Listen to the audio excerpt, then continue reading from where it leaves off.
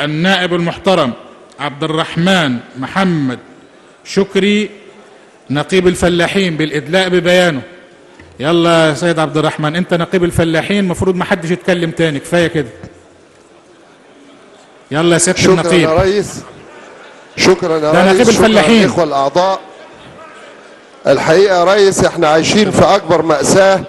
تشوفها مصر.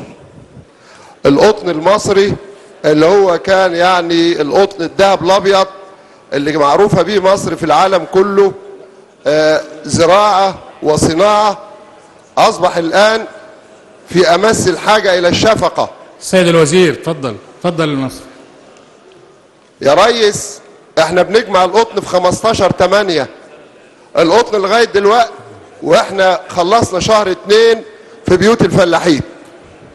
مين المسؤول عن كده يا ريس؟ الفلاحين تعبوا وشقوا. ودفعوا السنة اللي فاتت اتنين ونص مليار جنيه فوق الأسعار في الأسمدة. الفلاحين يا ريس جابوا أحسن محصول. الفلاحين يا ريس في أصعب الظروف ورغم ذلك جمعوا القط اللي كان موسم جمع القط هو أحسن المواسم في حياة الفلاحين. النهاردة القطن بتاع الفلاحين مرمي في البيوت. ولما تسأل يا ريس الوزارة الوزارة تقول لك إحنا عملنا اجتماع. الوزراء المسؤولين عملوا اجتماع ريس في 25 عشرة. إحنا جمعنا في 15 8 وهم ما افتكروش خالص القط إلا في 25 عشرة يا ريس.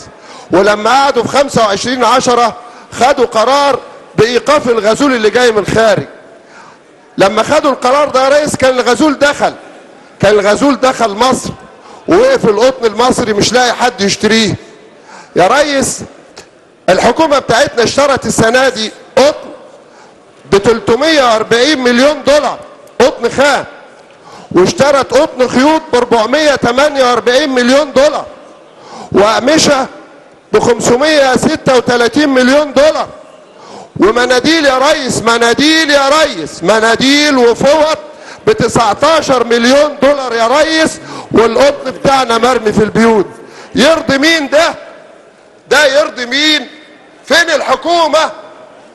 يروح فين الفلاحين؟ فلاح يروح فين؟ يا ريس كده ما يرضيش ربنا.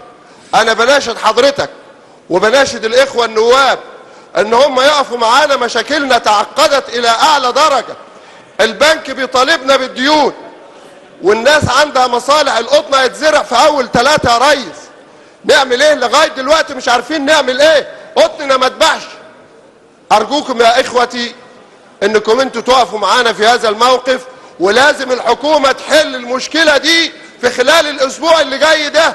أكتر من كده إحنا كفلاحين ما نقبلش. الفلاحين بتوع البحيرة يا ريس بيهددوا إنهم يطلعوا القطن بره ويحرقوه. نعمل إيه في هذه الحالة؟ شكرا.